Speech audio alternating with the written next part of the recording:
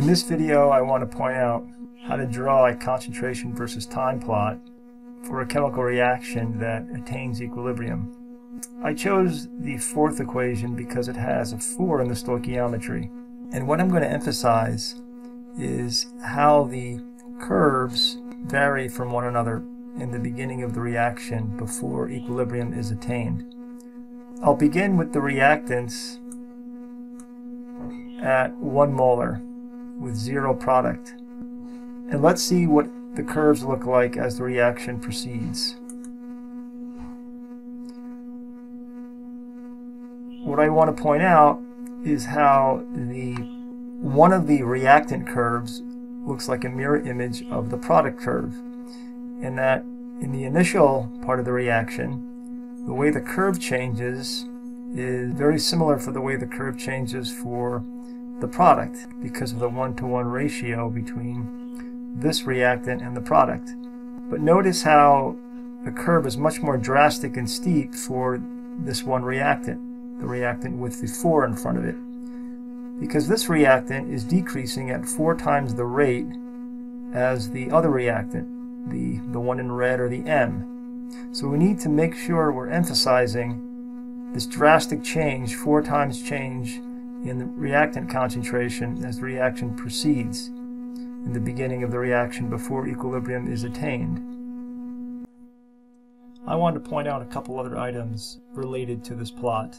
Equilibrium is attained when the curves have become horizontal lines. So somewhere right about here is where equilibrium has been attained at this time. The other item I want to point out is whether this reaction is product or reactant favored.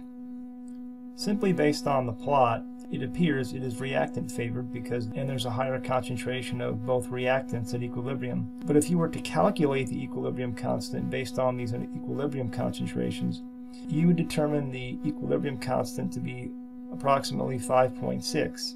And so this reaction at equilibrium is a good example of that gray area where something appears to be reactant favored, but in fact the K value is greater than 1. So this is where we could employ the equilibrium constant scale of 0.01 to 100 is indicative of neither a product nor reactant favored reaction. And one other point I'd like to make about this plot is that until these lines are horizontal, the concentrations are changing over time. For example, if we take a look at the black curve when the curve has become a perfectly horizontal line, as time proceeds from any point where it is horizontal, the concentration does not change. Hence, equilibrium has been established. Concentrations remain constant. But before that point, you can see concentration is changing continuously over time. Pick any two points in time, for example, this first point and this second point. At this first point, the concentration is approximately this value, whatever it may be. At the second point in time, the concentration is at this lower value. Pick any two points when the system has attained equilibrium. Here and here. Those two concentration values are identical.